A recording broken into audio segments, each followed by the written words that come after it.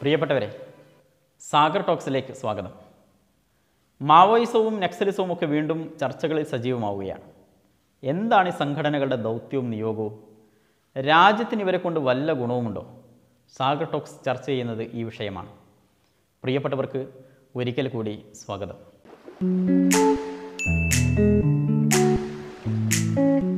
ലളിതമായി പറഞ്ഞാൽ Chinese communist നേതാവും പീപ്പിൾസ് റിപ്പബ്ലിക് ഓഫ് ചൈനയുടെ സ്ഥാപകനുമായ മാവോ സേതിങ്ങിന്റെ ആശയത്തിൽ ആകൃഷ്ടരായ തീവ്രവാദികളെയാണ് മാവോയിസ്റ്റുകൾ എന്ന് വിളിക്കുന്നത്. മാർക്സിസ്റ്റ് ലെനിനിസ്റ്റ് സിദ്ധാന്തങ്ങൾക്കൊപ്പം മാവോയുടെ സ്വന്തമായ സൈനിക പദ്ധതികളും അടങ്ങുന്ന ഒരു ആശയധാരയാണ് മാവോയിസം. മാവോയുടെ കാലത്ത് ലക്ഷക്കണക്കിന് എതിരാളികളാണ് കൊല്ലപ്പെട്ടത്.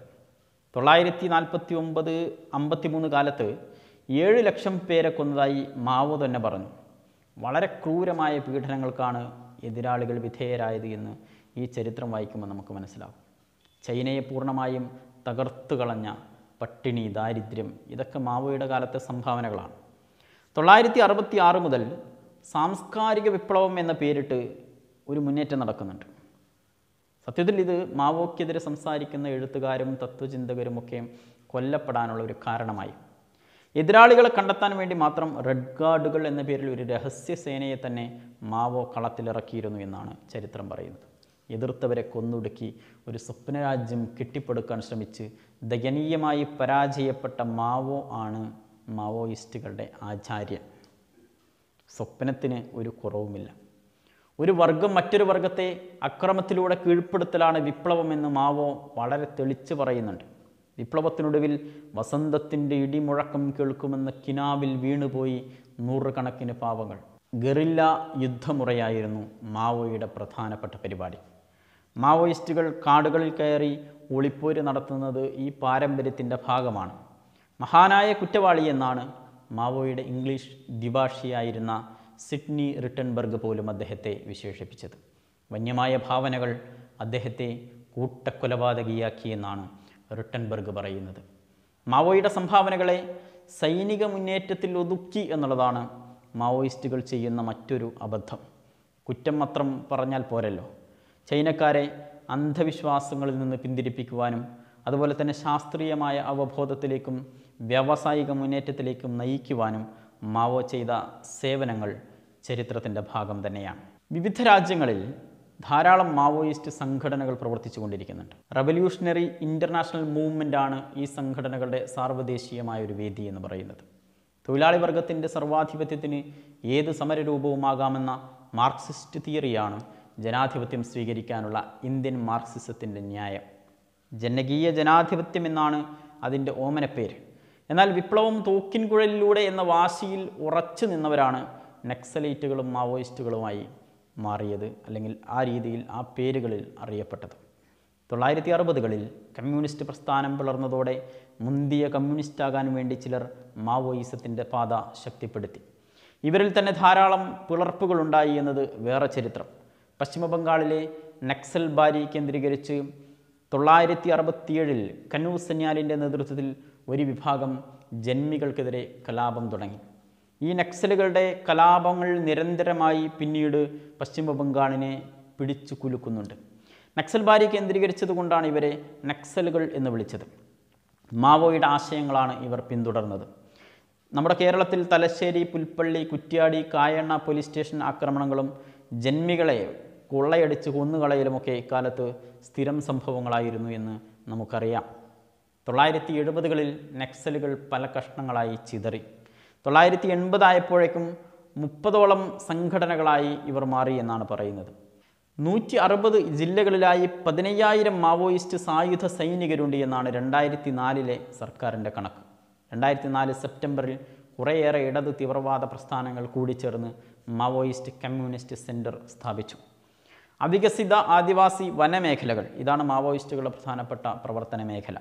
ആധുനിക ലോകക്രമത്തെക്കുറിച്ച് വലിയ ധാരണയൊന്നുമില്ലാത്ത ആദിവാസികളെ പരിചയാക്കുന്ന മധ്യവർഗ വിപ്ലവമോഹികളുടെ ഒരു ശൃംഖല എന്ന് വേണമെങ്കിൽ മാവോയിസത്തെ ചുരുക്കി വിശദീകരിക്കാം. നഗരങ്ങളിൽ അവർക്ക് വേണ്ടി ലഘുലേഖകൾ പ്രസിദ്ധീകരിക്കപ്പെട്ടു.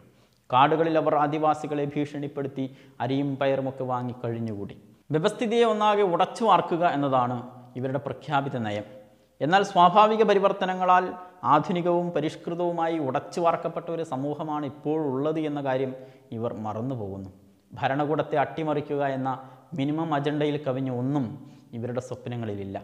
പിന്നീട് സംഭവിക്കുന്നത് അരാജകത്വമായിരിക്കും എന്നും സങ്കീർണമായ ഇന്ത്യയുടെ ഭാവിക്ക് ജനാധിപത്യമാണ് നല്ലത് എന്നും അവരെ പറഞ്ഞ് മനസ്സിലാക്കാൻ റിട്ടയർഡായ മുൻ നക്സലൈറ്റുകൾ എങ്കിലും തയ്യാറാവണം. കുറേയധികം മുൻ നക്സലൈറ്റുകളുള്ള ഒരു ഒരു നാട് കൂടിയാണ് നമ്മുടെ കേരളം. കമ്പോള മൂലധനത്തെയും ഭരണകൂടത്തെയും തള്ളിപ്പറയാനും തള്ളിയിടാനുമൊക്കെ വളരെ എളുപ്പമാണ്. എന്നാൽ പകരമെന്ത് എന്ന ചോദ്യത്തിന് ഉത്തരം നൽകാനും ഏതെങ്കിലും ഒരു മാതൃക ചൂണ്ടിക്കാണിക്കാനും നമുക്ക് സാധിക്കണം. മാവോയിസ്റ്റുകൾക്ക് അങ്ങനെ അങ്ങനെയൊരു പദ്ധതിയില്ല. ചോരത്തിളപ്പുള്ള ചെറുപ്പക്കാരെ വിപ്ലവമെന്ന ഉട്ടോപ്യനാശയത്തിലേക്ക് ആവാഹിക്കുന്ന ഒരു തീനാളം അങ്ങനെ മാവോയിസത്തെ വിശേഷിപ്പിക്കാവുന്നതാണ്. ലളിതമായി പറഞ്ഞാൽ എല്ലാ തീവ്രവാദ പ്രസ്ഥാനങ്ങളെയും പോലുള്ള ഒരു ആത്മഹത്യാ സ്ക്വാഡ്.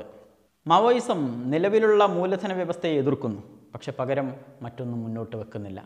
മതങ്ങളെയും മതമൂല്യങ്ങളെയും എതിർക്കുന്നു. പകരം എന്തുതരം ധാർമ്മികതയെയാണ് അവർക്ക് പ്രതിഷ്ഠിക്കാനുള്ളത്? ഒന്നുമില്ല. തീർത്തും ഭാവനാശൂന്യവും മനുഷ്യത്വവിരുദ്ധവുമായ മനുഷ്യത്വ വിരുദ്ധവുമായ ഒരു രാഷ്ട്രീയം എന്ന് വേണമെങ്കിൽ ഈ ഈ ഈ തീവ്രവാദത്തെ വിളിക്കാം. ലോകത്തെ ഏറ്റവും മികച്ച സൈനിക ശക്തികളിലൊന്നാണ് ഇന്ത്യ.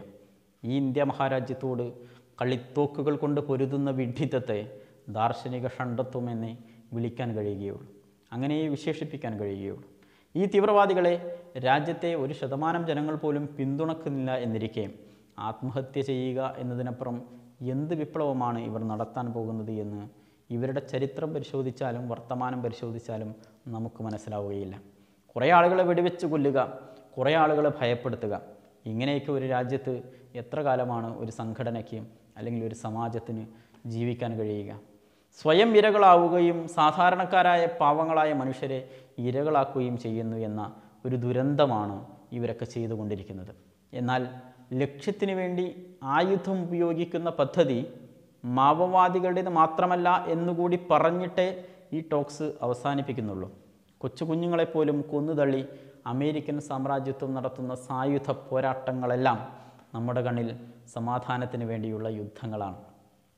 സ്വന്തം മണ്ണിലേക്ക് അധിനിവേശം നടത്തുന്ന അമേരിക്കൻ ഇസ്രയേൽ ടാങ്കുകൾക്കെതിരെ ഫലസ്തീനിലെ കുട്ടികൾ കല്ലെറിയുന്നത് നമുക്ക് തീവ്രവാദമാണ്. യൂറോപ്പിലെ റാസിസ്റ്റുകളെപ്പോലെ ഇന്ത്യയിൽ സംഘപരിവാറിൽ ഉൾപ്പെട്ട അനവധി സംഘടനകൾ സായുധരാണ്. അവർ ആയുധങ്ങൾ ഉപയോഗിച്ച് പ്രകടനം നടത്തുന്നത് നമുക്ക് ദേശീയതയും എന്നാൽ മാവോയിസ്റ്റുകൾ പുസ്തകം വായിക്കുന്നത് നമുക്ക് തീവ്രവാദവുമാണ്. ഇതുകൂടി പറയാതെ ഈ ഭാഗം നമുക്ക് അവസാനിപ്പിക്കുവാൻ കഴിയില്ല എന്നതുകൊണ്ടാണ് ഞാൻ ഇക്കാര്യം സൂചിപ്പിച്ചത്. അടിച്ചമർത്തപ്പെട്ട ജനവിഭാഗങ്ങൾക്ക് ഇന്നത്തെ കാലത്ത് എവിടെയെങ്കിലും ഒരു പ്രതീക്ഷയുണ്ട് എങ്കിൽ അത് ഉത്തരവാദിത്ത ഭരണം സാധ്യമാകുന്ന ജനാധിപത്യത്തിൽ മാത്രമാണ്.